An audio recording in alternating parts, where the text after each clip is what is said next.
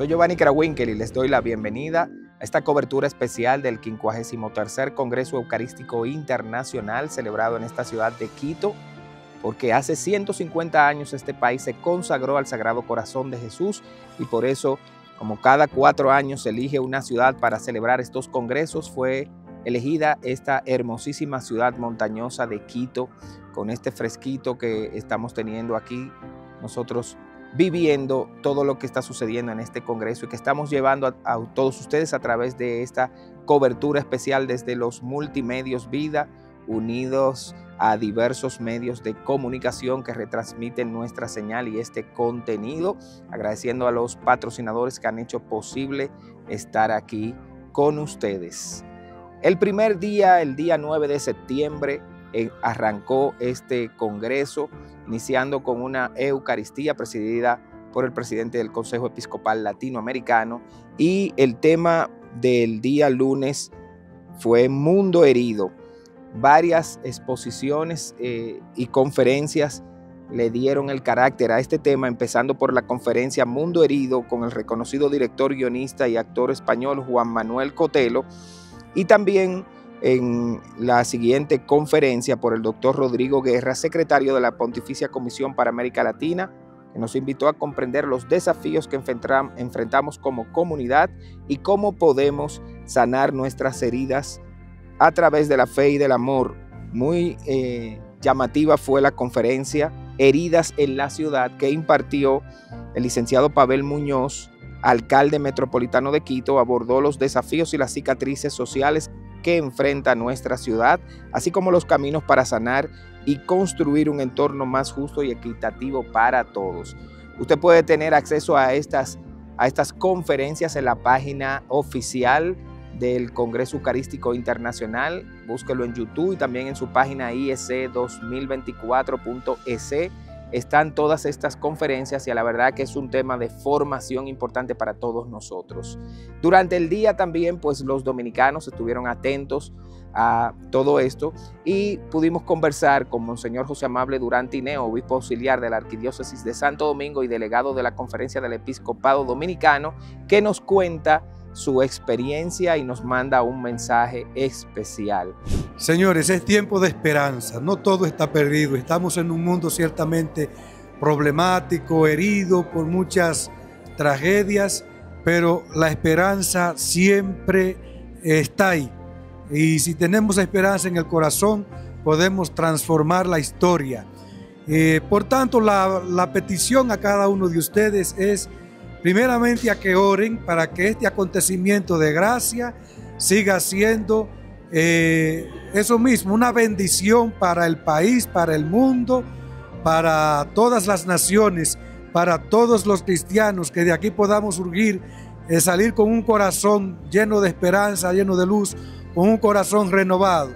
Y también a que se conecten, a que ustedes también desde sus hogares, desde su trabajo, desde el taxi, pues se conecten a esta gran experiencia y puedan también aprovechar todo el mensaje que desde aquí para el mundo se está llevando a cabo. Que les bendiga el Dios Todopoderoso, Padre, Hijo y Espíritu Santo. Amén. Yo participé en un primer congreso regional en Santiago y me acuerdo lo que aprendí ahí, en ese congreso. Y cuando escuché la palabra Congreso Eucarístico, pues me animé y ya en un segundo momento, Monseñor Amable terminó de convencerme para que viniera. Así que le agradezco a él que me animó al final para que pudiera dejar muchas cosas y estar aquí. Esperamos una renovación de la vivencia de la Eucaristía, porque también, aparte de las heridas del mundo, tenemos que reconocer que también la Eucaristía ha sufrido algunas intervenciones, a veces con buenos deseos, de ayudar a vivir la Eucaristía, pero tenemos que volver a la fuente, a lo principal, a celebrar ese misterio de salvación para nosotros.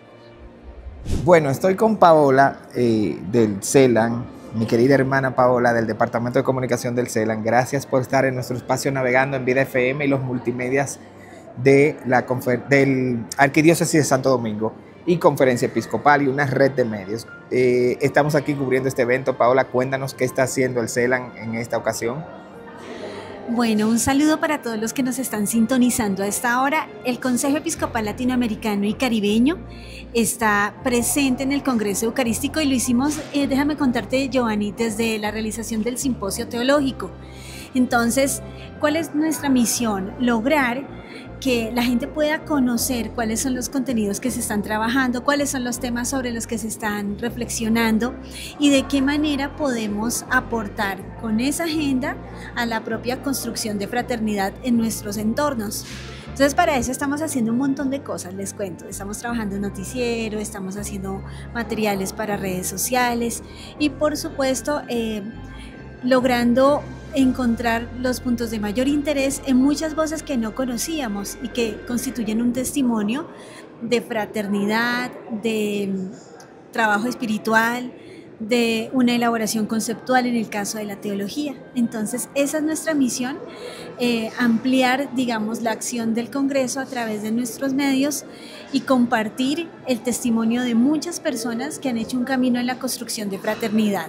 Así también pudimos vivir la Eucaristía que celebró nuestro arzobispo Monseñor Francisco Soria Acosta en una de las parroquias de Quito, la parroquia Inmaculada, y que también se encuentra en nuestro canal de YouTube de Televida. Allí pues pudo compartir con los eh, hermanos ecuatorianos de Quito.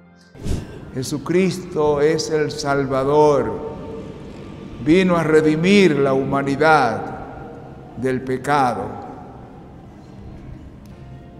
el Congreso Eucarístico nos propone como esa fórmula de sanar las heridas.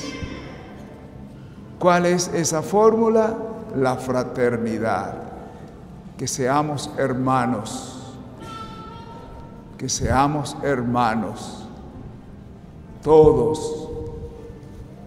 El Papa Francisco nos ha orientado con esa encíclica hermanos todos, todos somos hermanos. Y esa es como la fórmula, la receta para sanar todo tipo de heridas en el mundo.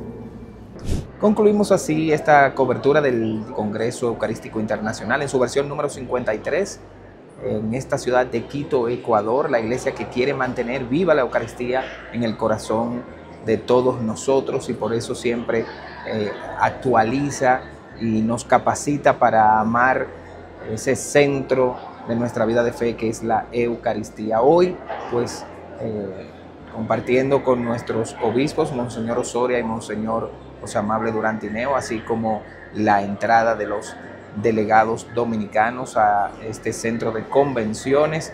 Eh, les pedimos que sigan atentos a través de esta cobertura especial que estamos haciendo desde Multimedios Vida y la red de canales aliado, La Voz de María, Luz Divina TV, Inmaculada TV de Atlanta, que se asume a nuestra transmisión, así como en, Promesa MRC en la ciudad de Nueva York y Luz Divina TV en la ciudad de Santiago, gracias a los patrocinadores, la Pontificia Universidad Católica Madre y Maestra, la Conferencia del Episcopado Dominicana y la red de emisoras